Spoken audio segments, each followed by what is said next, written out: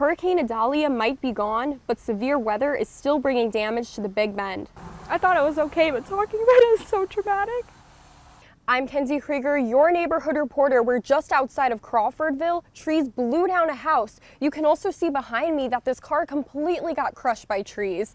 The damage was caused here and in Tallahassee. Powerful winds sent trees crashing down on Savannah Tharp's house Thursday. Um, I was definitely not expecting this just from the way the, the storm was yesterday because it looked like just any kind of typical thunderstorm. The trees also landed on her car. The sound of the trees coming down still affects her a day later. Even afterwards, loud noises still scare me.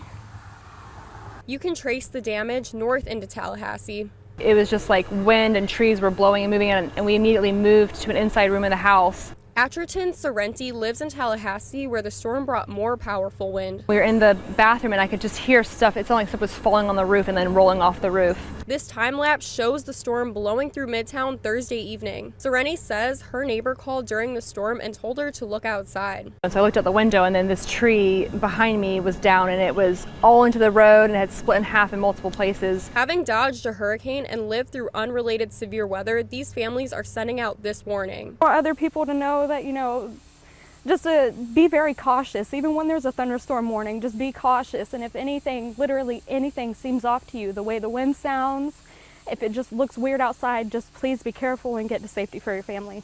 Power crews are still looking to restore power in this area. To get a closer look at how strong this storm actually was, let's check in with our chief meteorologist, Casanova Nurse. Your Crawfordville neighborhood reporter, Kenzie Krieger with ABC 27.